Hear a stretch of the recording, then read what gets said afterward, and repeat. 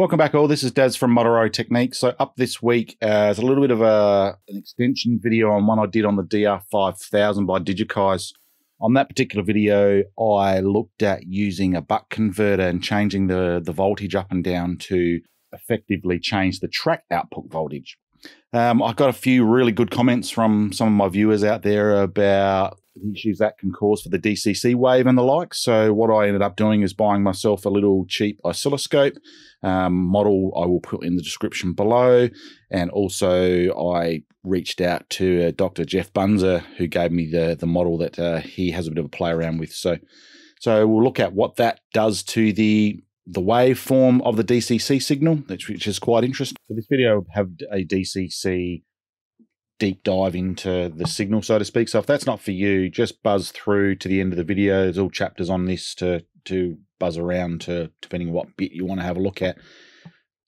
So I want to have a big shout out to my sponsor of this channel, uh, PCB Way, and their eighth anniversary promotion. So head over to their website, pcbway.com, and see what sort of awesome coupons and deals you can get with them right now for the next uh, month or so.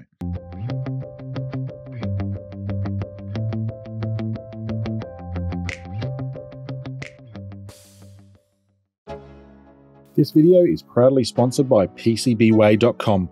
If you're a tinkerer, inventor, or advanced electrical engineer, you need to check out PCBWay or you are seriously missing out. They are passionate about PCBs ranging from standard to advanced PCBs with 1 to 30 layers with full featured printed circuit boards. PCBWay don't stop there. They offer basically everything you need to make your ideas a reality. Whether you need 3D prints, injection molding, or CNC machining, assembly, or basic PCB manufacturing, they can do it all for highly competitive prices. Check out their awesome services in the link below and their offer to my viewers who support this channel. Watch out for my upcoming videos where I'll be using some of their products. So what we're going to first look at here is the DCC waveform. So I think it's probably prudent we touch a little bit on uh, some of the science behind it. I'm no means uh, an expert here, so this is obviously information that I've gleaned from various websites that I will link below, mainly DCC Wiki and the NMRA DCC Command Control Standards. So we'll start with the myths that surrounding the DCC signal. So most of the myths result as a my understanding is applying an analog logic to the digital concept.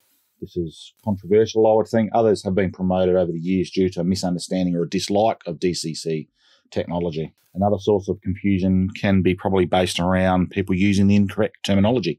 And I probably fall into that category on occasions as well.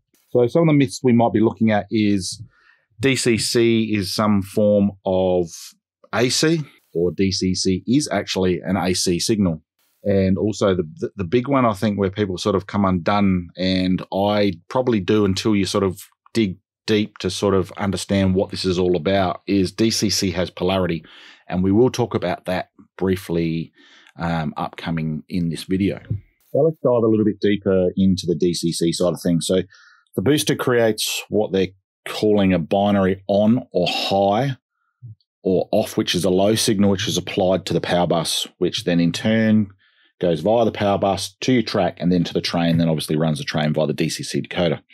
The binary value, so the binary value is on, as just shown in this little diagram here, the, the ones and the zeros, is determined by the period from one high state to the next. There's full power on the rails at all times. So if you've got 16 volts to, to your rails, that's what you get while the booster output is turned on. Voltage does not determine the locomotive speed like in the, the DC and the AC world. Obviously, that's where some of the confusion may lay. The signal with the DCC has a phase. So as we talked about before, we don't have a positive and negative. So we have phases which are present on a rail. So one rail is energized high and on while the other rail is low and off. One rail will always be the opposite and inverted state. So what we mean by that is is when we come across to issues with reverse loops and how the reverse loop module will work. It's not actually changing the polarity of the signal because it doesn't have a polarity. It's just changing the phase to high and low um, and so forth. So that's probably another term we need to start probably using is phase and not polarity. So with this, the, the convention with the NMRA is the rails identified A and B, whose phases can be handled by the auto reversers, as as we just talked about. Um, and that's an issue when an A rail meets a B rail. We need the the auto reverser to toggle and flip the phase, not the polarity, but the phase. What on the oscilloscope, or what uh, limited information I can get from my oscilloscope anyway, what actually can happen if we don't have robust wiring or we play with um, other type of interferences, what DCC can pick up and what that will do. So if we're talking about locomotives, functions and the like, and it's all being driven by these these signals to to go and stop and turn the bell and the lights off and everything else, if the DC signal is not sound, we're going to have some real problems with um, runaway locomotives and um, locomotives not responding to our, our commands that we've been giving them. So let's look at the rig that we're going to be using here. So that's the Digikeijs DR5000 Digi Central. So we've got the obviously the power coming in. So at this point in time, we're not using any buck converter. This is pure sine wave or pure wave form coming off the DCC.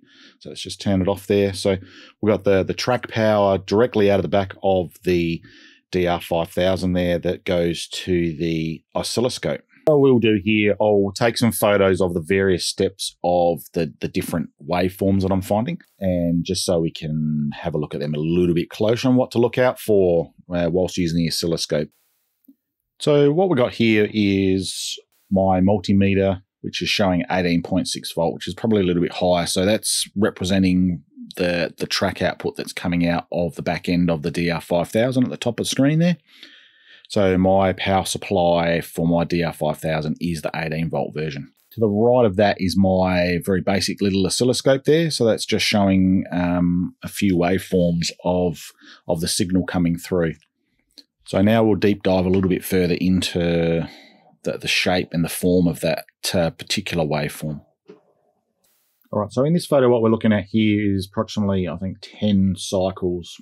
Um, more likely, looks like they're preamble of the DCC signal. So that means no, no locomotives are controlled and there's very few command packets coming through. So the system's just sitting idly. So for DCC, what we need to look at is the VPP or volts peak to peak. So the total voltage swing from the bottom to the top on this occasion is 35.1 which is a roundabout right for considering I'm putting into to this oscilloscope about 17 volts. So how that is worked out, you've got the Vmax, which is 17.1, and V minimum, which is 18. So that gives you your 35, uh, 35.1 volts. So the important thing here is that we're centered around zero volts. So you'll see on the left hand side here a little blue arrow, and the right hand side uh, a yellowy green arrow that uh, is the zero line. So you need to center your your your waveform around the middle of that. So we've got equal amount of waveform above and below that line. So now notice the VR, VRMS, which is at 17 volts, which is slightly higher than the VPP divided by 2. So the VPP divided by 2 obviously would, would be 34, so we're 1.1 volts above that. So what that means is the waveform has obviously some rounded corners as as I've pictured pictured there with the the arrows. And may even occasionally has some overshoot and undershoot. And below the signal tops and bottoms which changes the the root mean squared signal value. So what I mean by that is so a perfect signal should have straight up and straight down straight tops and very square corners so basically what this is going to do, this is going to yield an RMS value of half the VPP. So we should be at 34 VPP. So I'll also note the, the cycle time here, which is what we'll talk about, uh, which is in with the NMRA DCC standards, currently at 0.116 milliseconds. So that's uh, 116 microseconds. So in analysing this this waveform from the DCC on my oscilloscope here. So it's going to assume a few things here regarding the main assumption is that the command station is sending out a perfect square waveform um, in the first instance. But however, sort of beyond what the picture we're looking at here is, so where what the reason why I bought the more portable version at this point is so I can place this instrument around various parts of my layout and just see what um, how my my waveform is looking. So what I'll look at doing is probably put it at the at the end of the very longest run of my DCC bus, and then run a few locomotives with power hungry um, DCC decoders and see what distortion that does to the uh, does to the waveform. I will expect to, to, see a little bit of ringing there. So apparently that's uh, one of the the issues there. Well, that's where the rise and the fall, the overshoot of the DCC form that we we we spoke about before. Obviously, this changes the VPP and the VMRS, and with enough, you'll get. Um, this is where we start having errors, uh, packet errors, and packets not being um, recognized because obviously the the uh, the information is reading from those square corners. So if you've got jagged edges, um, various jagged edges before the end of the actual waveform, is when you're going to have issues. That's when you get the runaway locomotives. Um, you'll get functions that are not working and the like. Also, I, I, um, as I mentioned before, I reached out to Geoff Bunza, uh, and I thank you very much for his help for helping me just um, break down uh, the data on this oscilloscope.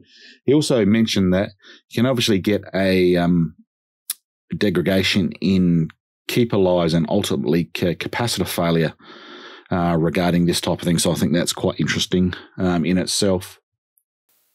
So what we're going to do now, we'll just go and hook up my buck converter and we'll just change the the volt the input voltage from the the 18 volt transformer that came with the DR5000 and we'll just see what that does to the waveform.